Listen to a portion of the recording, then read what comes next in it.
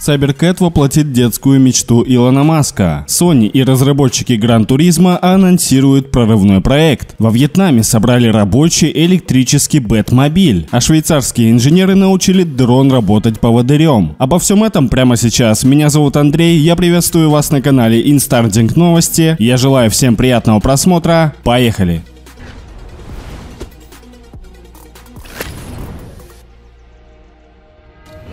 Несмотря на то, что релиз Tesla Cybertruck в очередной раз перенесли, теперь на 23 год, появление электрического пикапа ждут с большим нетерпением и активно разрабатывают различные модификации. Естественно, пока лишь в качестве концептов. Например, как насчет Cybertruck катамарана? Энтони Даймонд из Сиэтла направил документы, чтобы запатентовать тюнинг-набор, позволяющий электрическому автомобилю рассекать водную гладь. У самого Даймонда есть машина Tesla, и он подал заявку на покупку футуристического пикапа пикапа. Концепции представлены в двух вариантах – Cybercat и Cybercat Foiler. Оба превратят Cybertruck в амфибию, а более продвинутая версия оснащена подводными крыльями для повышения эффективности. Компания Cybercat разрабатывает комплекты таким образом, чтобы переоборудовать пикап мог один человек, а все компоненты умещались в самом автомобиле. По данным компании, Cybercat будет развивать скорость более 40 км в час, запас хода 185 км при скорости 10 км в час. Продвинутая Продвинутая версия способна развивать скорость 65 км в час, а запас хода аналогичный. Мощность Cybercat в 335 лошадиных сил обеспечит 5 подвесных электродвигателей по 50 кВт каждый. Стоимость базового набора Cybercat от 23 до 33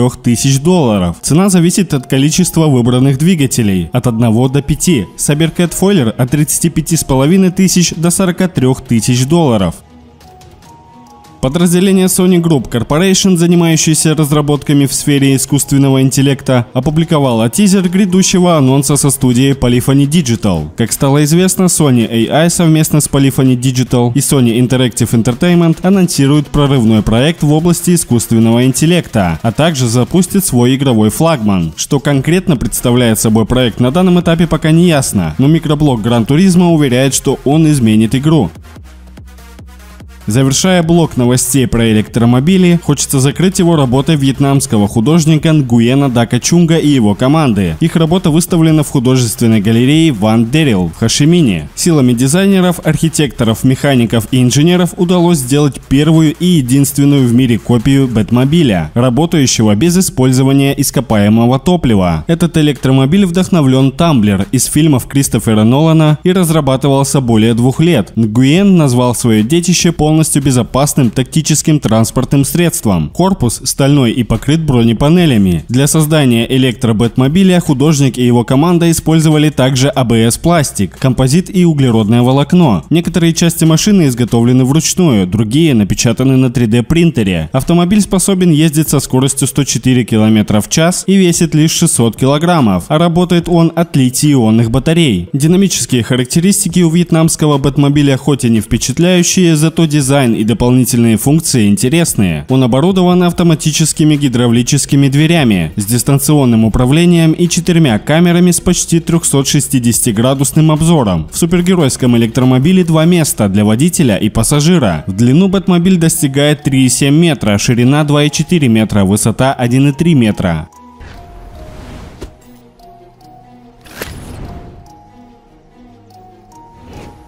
Далее переходим уже к летающему транспорту. А начнем мы со швейцарских инженеров, которые научили гексакоптер вести в заданную точку человека, держащего его за трос. Дрон постоянно измеряет натяжение троса и старается поддерживать его на одном уровне. Новая работа стала продолжением предыдущей, в которой они уже научили дрон выполнять эту работу. Однако тогда он лишь двигался сам, не учитывая движение человека. Из-за такого поведения быстро идущий человек может подойти слишком близко к дрону, натяжение троса пропадает и человек человек остановится. В новой версии алгоритма управления дрон поддерживает натяжение троса на одном уровне, что заметно повышает комфорт человека. Система состоит из гексакоптера и троса с ручкой на конце, которую держит человек. Авторы смоделировали ее как пружинный маятник с демпфером. Получая координаты точки назначения, дрон начинает лететь к ней, натягивая трос. При этом он измеряет силу натяжения с помощью датчика усилия 800 раз в секунду. Это позволяет ему подстраивать параметры полета для поддержания натяжения движения на одном уровне, вне зависимости от того, как двигается или двигается ли вообще человек.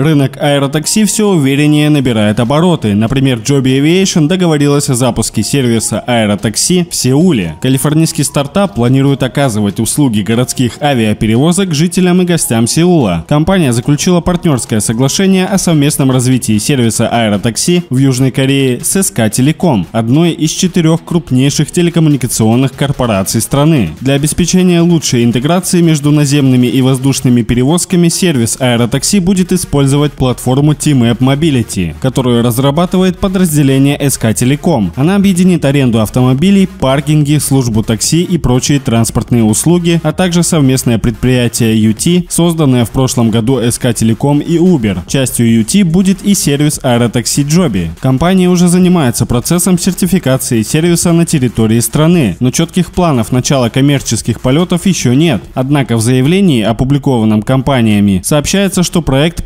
поддержало Министерство земли, инфраструктуры и транспорта, действующее в рамках программы Корейской городской воздушной мобильности, нацеленной на сокращение скопления транспорта в крупных городах. Предварительный план заключается в создании одного или двух маршрутов в Сеуле и увеличении количества терминалов аэротакси до 10 к концу 20-х годов. Все эти терминалы будут соединяться с остановками автобусов, метро или других видов транспорта.